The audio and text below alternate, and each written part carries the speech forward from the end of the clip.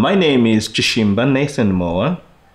I'm currently a professor of physiology and endocrinology, and also a, a biomedical researcher at Appalachian State University, which is a member of the University of North Carolina system.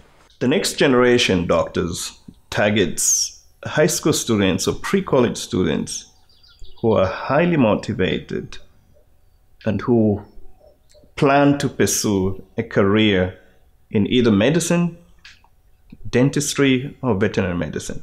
The strength of the next generation doctors is that it brings two experts with complementary um, expertise.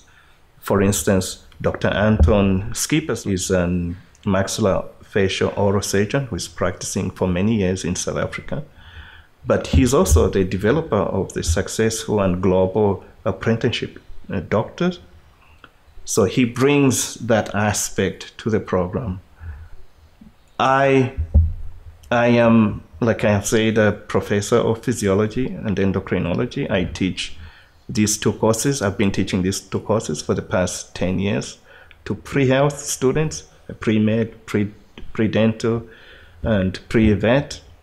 I'm also an active biomedical researcher and I, um, I've published quite extensively in um, peer-reviewed journals.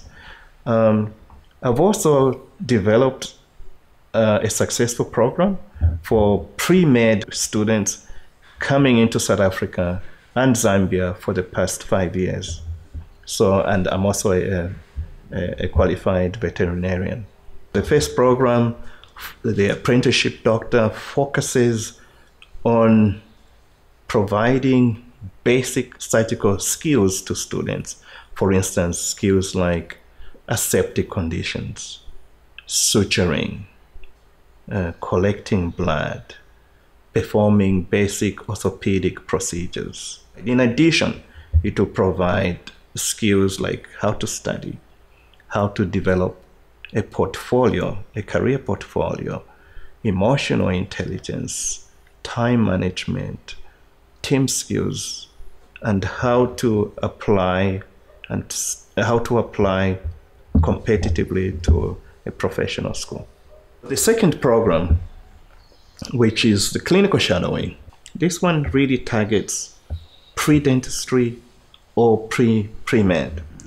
Um, the students will be in Livingstone, shadowing doctors during the day in a hospital, and then in the evening, would go through the, the, the cases that they have seen, um, we'll review the cases, and again, we'll also teach them emotional intelligence, uh, team skills, uh, applying for medical school.